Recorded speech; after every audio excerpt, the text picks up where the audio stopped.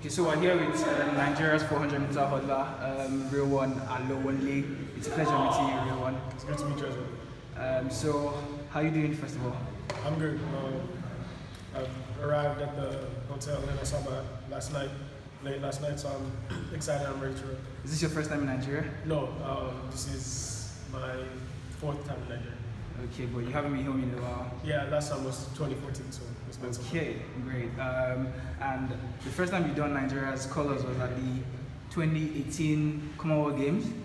Oh, You know, yes. Yeah, we spoke to you before that race, and you said um, you had a lot of your time to deliver, and indeed you delivered. Thank you know, running 49.4, which was pretty fast. That's like fastest we've seen in Nigeria so far. Um, coming into the African Championships, um, what do you have in tank? Um, I think I'm also ready for another good one.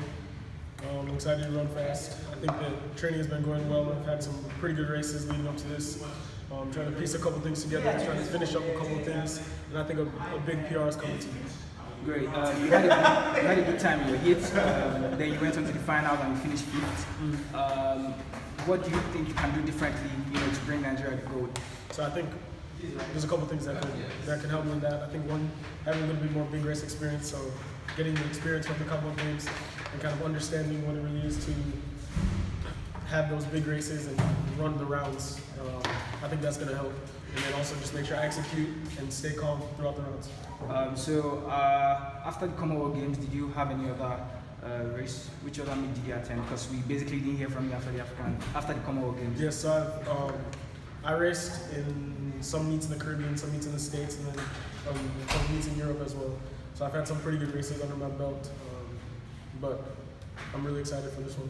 Okay, so leading up to these championships, you know, championships are like mostly the biggest competitions, and this is the biggest in Africa, and it's happening here in Nigeria, Asaba Delta State. Um, I would say the home crowd will be there to support you. So, Oh, definitely. um, how prepared are you? You know, how prepared mentally? You know, the tension and everything. You know, how you Um, to control that. I, of course, I'm going to be a little nervous, of course, but I think it's going to be good energy. I think I'll be able to use the crowd, use the crowd that's supported me. Um, being that's that home crowd, I think that it'll really push me and my fellow Nigerian athletes to really just give everything we have to try and get the gold. Know, so we wish you all the best at championships. Thank you very much.